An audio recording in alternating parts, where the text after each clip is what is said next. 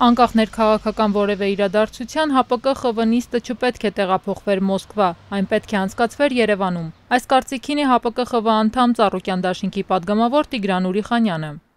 Սանկտ Պետերբուրգում մեկ շաբաթ 10 օր առաջ էր քարտուղարության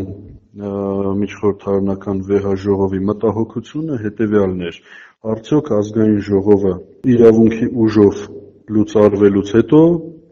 իրավազոր կլինի, ինչպես նաև տեխնիկապես կկարողանա հյուրընկալել եւ կազմակերպել։ Եթե պատճառը իրականում իրավական է եւ տեխնիկական է, ապա կարելի է ընկալել, բայց եթե այդտեղ կա քաղաքական նկատառում, որն այդուհանդերձ մեզ ամենայն դեպս ինձ որպես այդ խորհրդարանական վեհաժողովի ՀԱՊԿ անդամ չի ներկայացվել։ Եթե կա քաղաքական նկատառում, ապա դա իհարկե մտահոգություն է առաջացնում։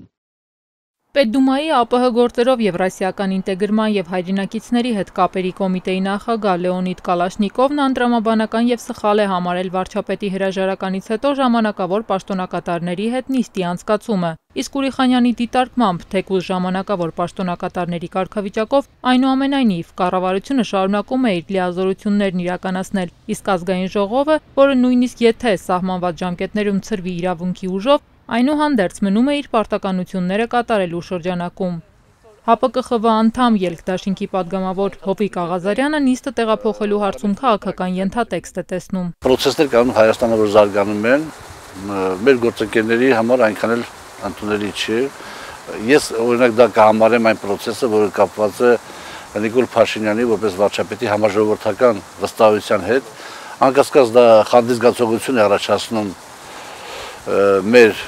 գործընկեր երկրների ղեկավարների մոտ եւ նաեւ սանով երևի պայմանավորված պետք է լինի դա։ Հայաստանի արտգործնախարար Զոհրաբ Մնացականյանը խորհուրդ է տալիս ՀԱՊԿ խորհրդարանական վեհաժողովի նիստը Երևանից Մոսկվա տեղափոխելու հարցում հակասական, հակահայկական դիտարկումներ չփնտրել։ Նախարարի դիտարկմամբ հարցը խիստ պրագմատիկ է։ Բոլոր դեպքերում իրենք պատրաստ են քննարկել եւ լուծումներ գտնել։ Ինձ թվում է, որ այս հարցերից ցավերին պետք է պրագմատիկ անդրադառնալ, պրագմատիկ վերաբերվել։ Հիմա ես այս պահին Չգիտեմ կարգավիճակը ինչպես է խորհրդակցային գործընկերների հետ, բայց մոտեցումը պետք է պրագմատիկ լինի։ Հայաստանում կանցկացվի այսօր կամ վաղը կանցկացվի մյուս տեղ